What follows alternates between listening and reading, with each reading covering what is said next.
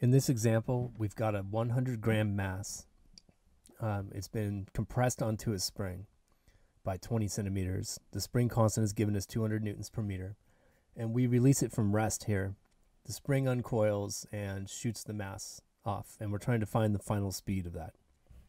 One interesting point I wanted to bring up before we get into it is just to point out that this is the release point right here. When that spring gets back to its equilibrium length, or x equals zero, it's going to start to pull backwards on itself to try to get back to its equilibrium length. Like it'll fly through equilibrium a little bit, but then immediately slow down because it's trying to restore to this length.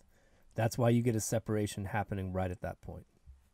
So we're going to use energy conservation to do this. We are now using a potential energy function as kind of a bookkeeping device for how much work the spring is doing.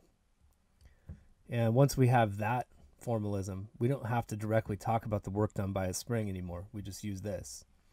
So I don't have any friction acting, so my total mechanical energy is a constant. E initial is equal to E final. And then I look at all the sources of energy in my initial state.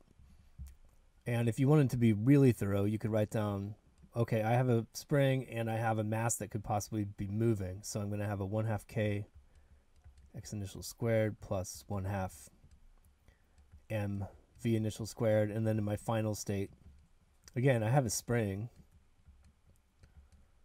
So I'm going to put it in there just to be 100% thorough. And then a kinetic energy. And then uh, typically in these problems, you're going to find out that a bunch of these terms are zero. And if you see that before you write down this step, it's okay to just skip the ones that are zero. In the initial state, I have spring energy for sure. The spring is coiled, but my velocity is zero. So the kinetic energy term dies out. In my final state, I no longer have spring energy stored, so that term is going to be zero. But I do have kinetic energy in the mass. So I can write down 1 half kx initial squared equals 1 half m v final squared. And again, it's okay if you just want to start by writing that down. All right, so rather than plug in numbers, let's go ahead and get a general solution this time. I'm trying to find v final, so I'm going to divide both sides by m.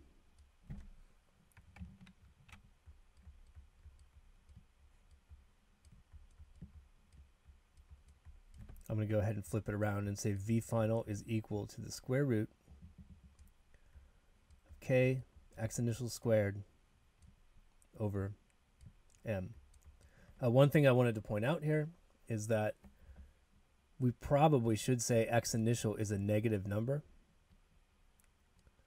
negative 20 centimeters, because it's to the left of the equilibrium position.